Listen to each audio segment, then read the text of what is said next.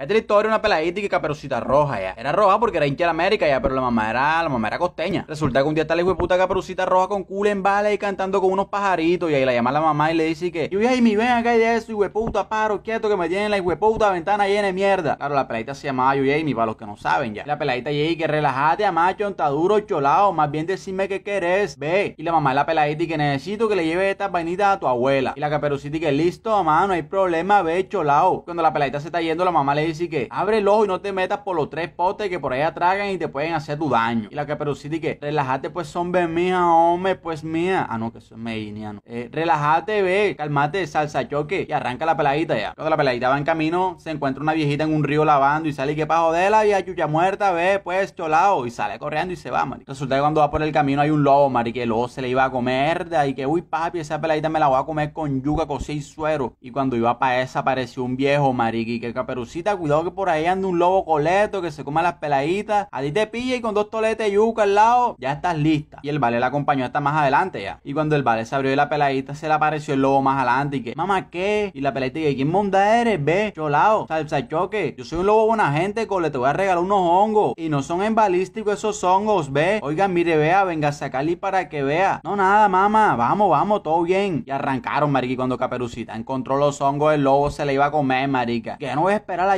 ni una verga, te voy a comer con dos cachetas de suero y ya. Herda, y en eso llegó un tombo, marica, que le disparó. Pri, pra, y el lobo se fue en verga, marica. Y el tombo le dice que, mamá, ¿qué hace por los tres potes? Si esta monda es peligrosa. Y la pelea y que lo que pasa es que le iba a llevar estos hongos a mi abuela para que se embalara, ve, hombre, cholao. Bueno, y el tombo la acompañó hasta más adelante ya para que no se la comiera el lobo. Pero el lobo llegó primero a la casa de la abuela, marica, y se la comió con dos cachetas de suero, pri, pra, y se disfrazó de la abuela para comerse a la caperucita también, marica. Herdi cuando caperucita llega y que, abuela, ¿por qué tienes las orejas tan grandes? Veo is, venga a sacarle para que vea. Y el lobo y que, son para escuchar la sirena de la policía cuando venga desde lejos. Y porque tiene las uñas tan largas, salsa choque. Y el lobo y que, es para soplar mejor. Pero te voy a comer, y la pilla, la caperucita y que no me coma, lobo. No sea tan hijo de puta, ve, salsa choque. Y el lobo y que me vale mondar y pra, se la come, marica. Se la traga entera y se acuesta a dormir el mal parido ahí mismo. Herdi, el tombo, marica, que, uy, hijo de puta, este mal parido se comió a la caperucita y a la abuela. Y busca unas tijeras, marica. Le pega culo puñalada en la barriga. Guau, le raja la barriga y se la saca, marica. Pero como que el puta lobo tenía el sueño pesado porque ni sintió la puñalada que el tombo le metió, marica. Resulta que el lobo le sacan culo y poco espeñón en la barriga, marica. Y se lo cosen otra vez y el puta lobo nada que se despierta, marica. No siente una verga.